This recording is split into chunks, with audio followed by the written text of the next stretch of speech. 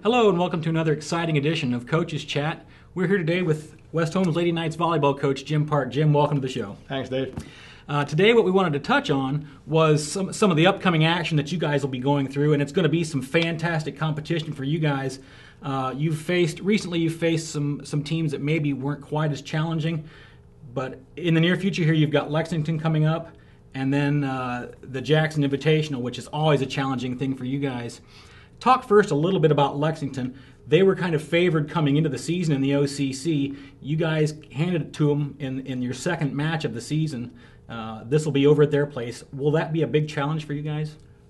It's going to be a challenge either way. They are a very good team, and I can't explain their early season stumble. They lost another match after us. Mm-hmm. They were actually 0 2 at one point. And on paper, probably had the most talent in the league. But then again, I guess you don't play on paper, so you got to go on the court. But they had a very good team and mm-hmm. a very good coach, and I'm sure they'll be ready to play us because he told me in the past we get everybody's best effort every night. Right. That's just how it is, which is great. You know, you want to play a hard match every yeah, night. That's what you well really you can want. Play. Yeah. yeah. Um, so if we're playing to our ability, we have a good shot. Mm-hmm. And we won last time. Excuse me. We won last time, and we had some kids really step up.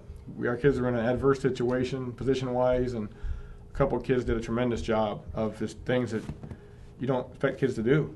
You know, Lane I think had was it 31 kills or something, yeah. or Peyton had 18 or something. Michelle set the entire match, and and so on. Um, and this time's gonna be different. It will be over there. Yeah, I guess that's always a factor in high school. It's not mm-hmm. even to me, but I guess it can be to sometimes.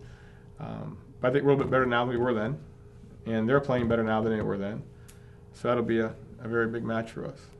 And as far as the Jackson invite, uh, obviously just a load of talent there. Talk about who you guys will be facing.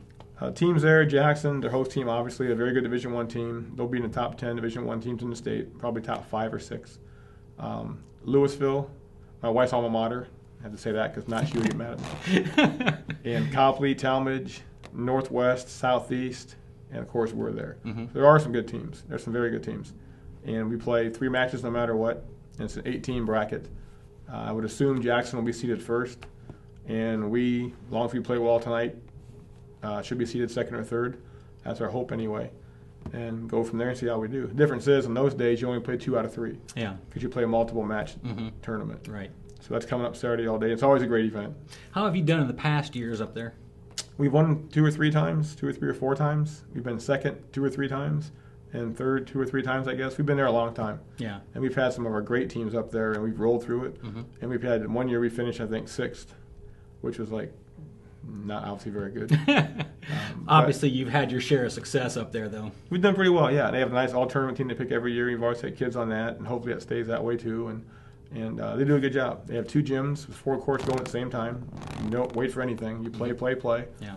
And uh, get home and play golf. Okay. All right, there you have it. The upcoming slate for the West Holmes Lady Knights volleyball team going to be a very challenging one for Jim Park's Lady Knights. So it should be some fantastic volleyball. Go out and get your ticket go out and support the Lady Knights.